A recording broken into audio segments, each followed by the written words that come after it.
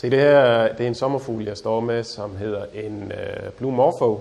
Og den lever selvfølgelig ikke herude i den danske natur, men den øh, kommer fra øh, blandt andet Mellemamerika, hvor den lever i troberne. Og vi har simpelthen valgt at få de her øh, sommerfugle øh, her i terrariet, øh, fordi at øh, det er noget, som vores øh, gæster de synes rigtig godt om. Og øh, hvis vi lige prøver at se på nogle af dem herover også, så har vi altså mange forskellige arter.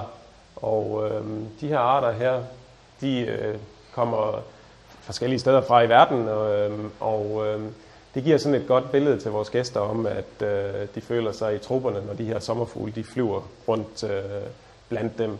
Det de sidder og får her, det er noget sukkervand, øh, fordi i naturen der spiser de altså nektar fra blomster, hvor de stikker deres lange øh, sammenkrøllede snabel øh, ned i øh, de her blomster her, og øh, så suger de simpelthen nektaren op, som de, som de spiser. Øh, vores sommerfugle de lever altså kun i 14 dage her hos os. Øh, det gør de også i naturen. Så når de er i sommerfuglestadiet, øh, så handler det altså om at formere sig og øh, lave næste generation. Så vi får dem faktisk også øh, fra vores leverandør i pupper, og så hænger vi dem op her, øh, ligesom de vil hænge på en gren i naturen. Og så kommer de altså efter et par dage ud af de her pupper her, og øh, så slipper vi dem løs, så de kan gå øh, frit blandt øh, gæsterne.